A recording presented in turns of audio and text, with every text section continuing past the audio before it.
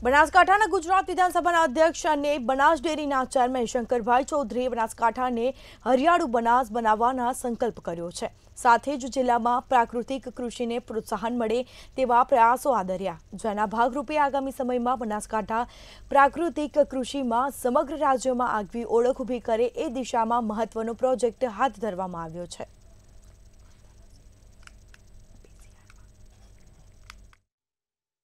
तो हमारे माननीय चेयरमैन बनास डेयरी के शंकर भाई चौधरी जी के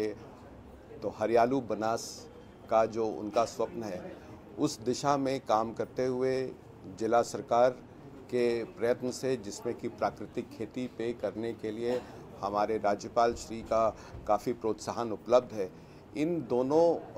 दिशाओं में काम करते हुए